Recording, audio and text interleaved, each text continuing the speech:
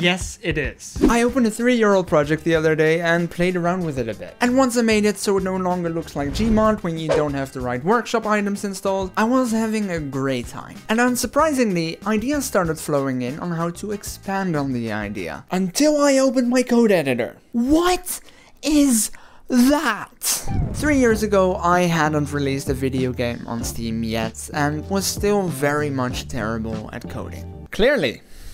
But since then, I have released three small games on Steam, but more importantly, I've learned a lot. Like a lot, a lot. And that is something I need you to understand.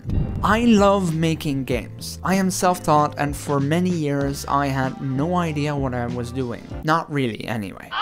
But now I do for the most part. Those three games and the several Game Jam games as well as every unfinished prototype I've ever touched, they all taught me things. One, that I am somehow still too lazy to learn how to make 2D and 3D art, apparently. And two, that even if it doesn't feel like you're making any progress or that you're getting any better, you are.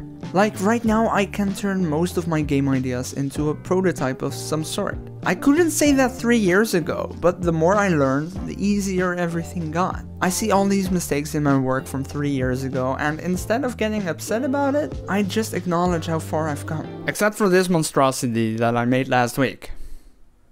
I don't know what I was thinking. Anyway, keep making games, keep getting better. You'll see that slowly game development is definitely getting easier for you. But in case you ever feel like you're not making any progress, just look back at what you've already done. The good and the bad.